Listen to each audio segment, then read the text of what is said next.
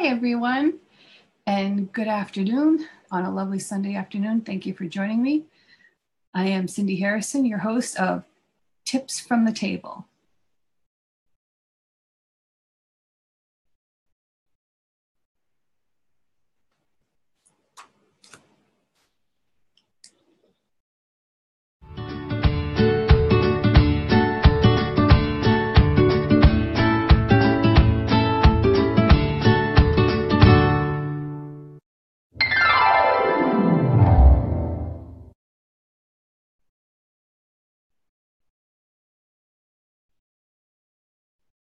So, welcome. And today's program is going to be about how to prepare your surfaces.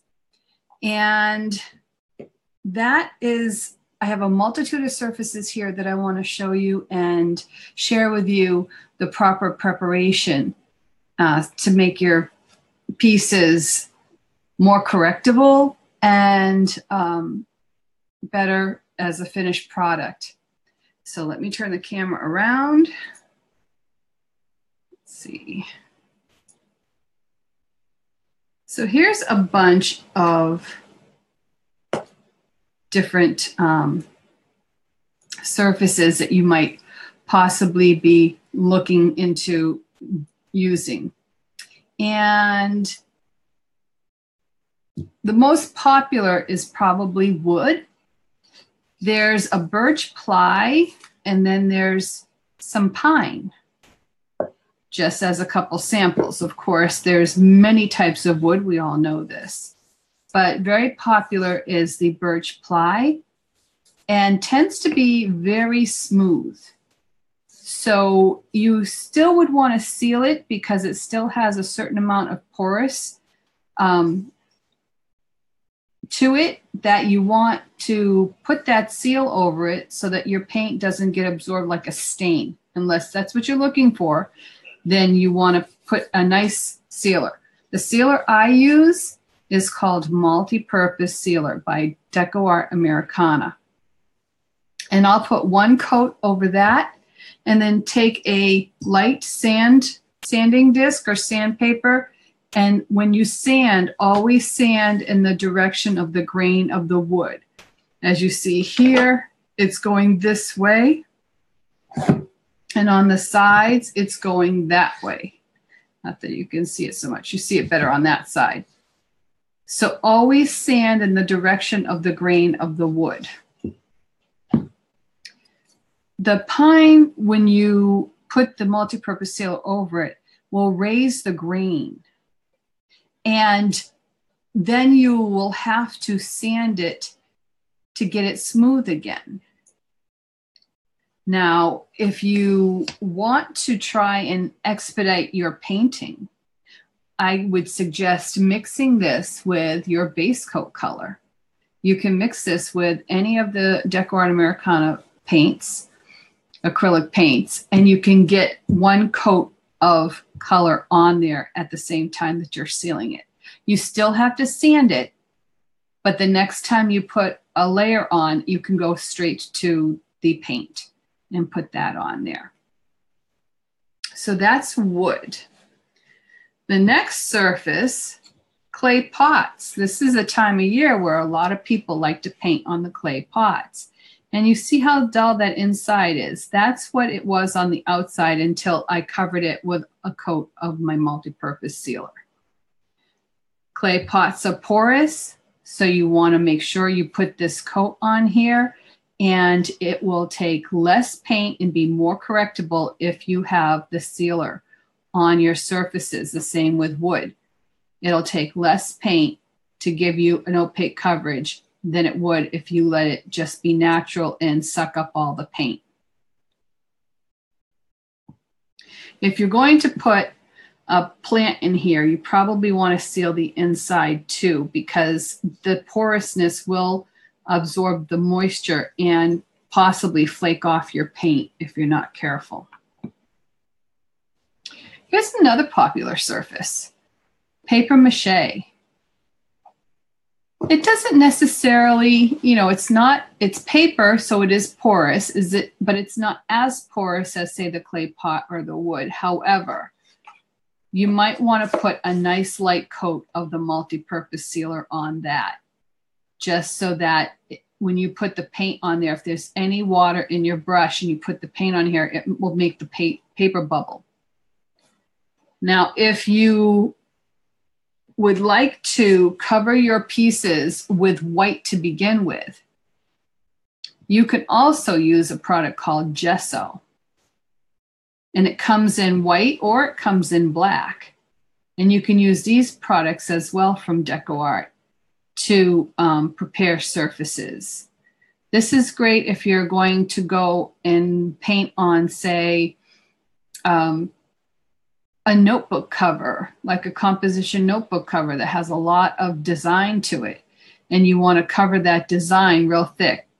This is equivalent to like a Kilz or a bins in the paint department of the, you know, home home um, what do they call home decor shops.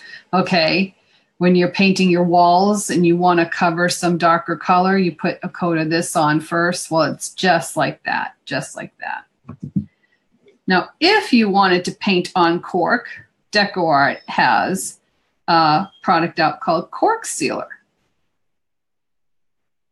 And you can paint on a cork, a design on cork after you apply two coats or, or more of this product and seal that cork real good. And then you can paint on that, which is really a cool idea. Next I have a ceramic mug.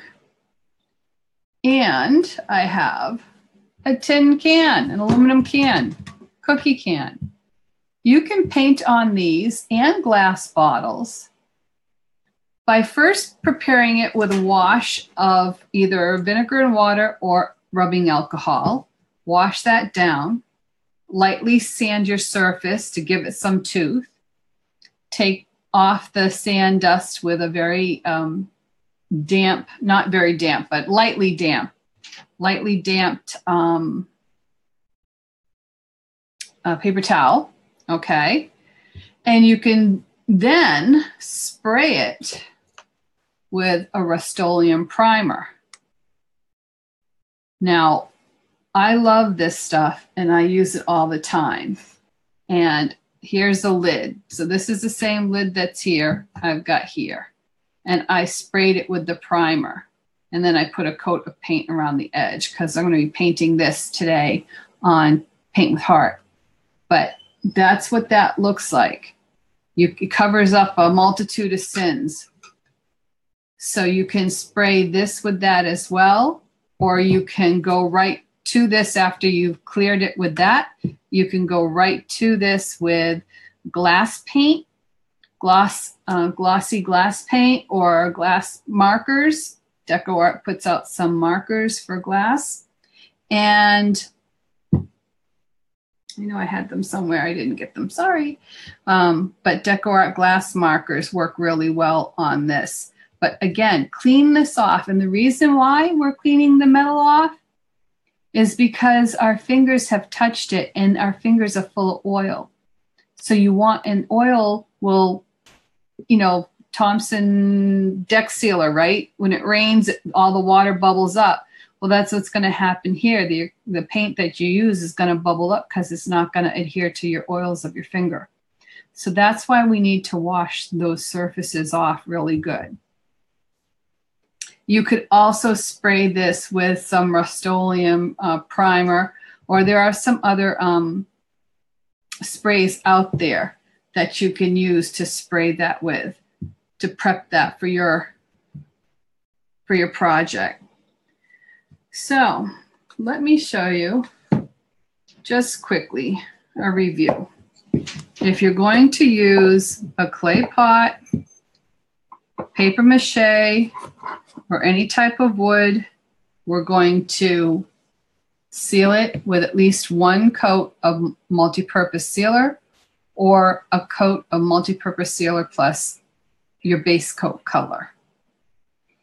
If you're going to do paint on cork, you're going to use a cork sealer, which is also good if you're not going to paint on it, but you're using it maybe for the bottom of your coasters and you don't want it to absorb moisture on the table. It's still good to seal it.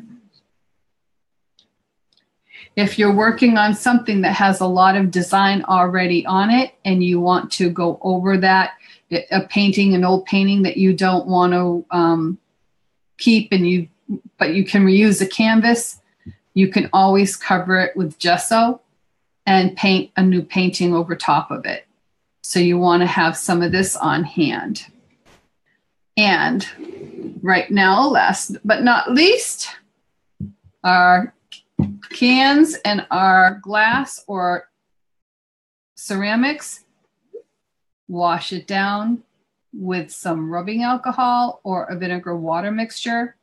Sand it lightly with a very soft sanding pad. Wipe it off with a very um, lightly damp paper towel. And then you can spray it with some primer or you can you can brush on a, a primer if you want but I find that I want my ceramics and my tin to be as smooth as they started out to be. So I don't like brush strokes. I would rather spray lightly a few coats, let it dry. If I need more to cover the lettering, I'll spray it another time, but let the layers dry in between and it takes a little longer and it will be tacky. So you want to want to, you know, just let it set if you can to dry. And then you'll be ready to go. When all the product is, all your painting is done and you have finished your design, you're happy with your design and you want to move on, you should always, always, always, well, again, everything is written in pencil in the decorative painting world. But you want to try and seal your painting, acrylic painting, with something. This here is a Duraclear Soft Touch Varnish. I use this a lot and it's a, a satin finish. So it's very hardly, it's not glossy. It doesn't have a high gloss like a high glass gloss. Another thing I use is called Americana Acrylic Sealer Finisher. So if I want to spray something instead of brush on, I can use this. And I would probably use this for surfaces like the cup and the tin because it's round and smooth.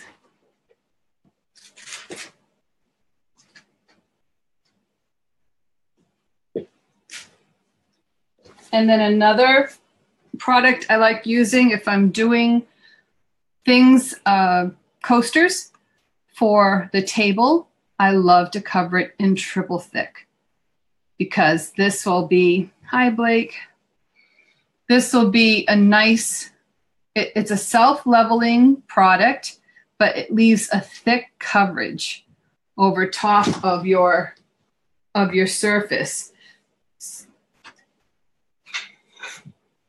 so that it will resist moisture. It's high gloss. You see how that's high gloss?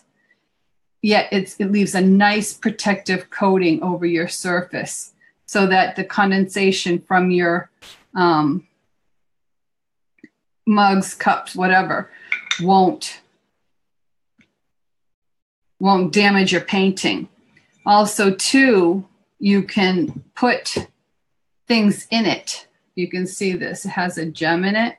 So while it's still wet, you can place any kind of mixed media pieces you want to place in there or even glitter, sprinkle it with glitter. This you when you use this product, you want to make sure that whatever your surface is sitting on is level and that you are not going to be touching it anytime in the near future because it needs an overnight to dry, to cure. So this is not a a product that you would use and have a immediate results. So I want to thank everybody who um, joined me today here on Tips from the Table. I am here to answer any decorative art, any decorative painting questions that you may have. The, the purpose of this show is to share with you the knowledge for different brushes, different techniques, and different products. And I'm hoping to be able to teach the world to paint one brushstroke at a time. And to do that, we have to start from the very beginning as we have. So previous episodes are vis uh, visible on Bubblr Media, on the Bubblr Media Facebook page, YouTube channel, and website. And my producer will put the links in the bottom. So you can go there and see the first uh, several episodes of paint uh, tips from the table and they talk about the different brushes and what the different brushes can do the techniques that we use these brushes for. And hopefully you'll be encouraged to pick up a brush. But um, if there's any questions please put them in the comments. And i will get back to you as soon as possible.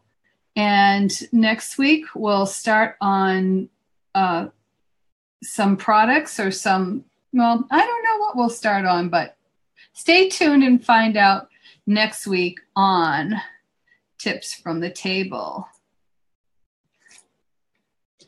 So thank you very much for coming, and I hope to see you again next week.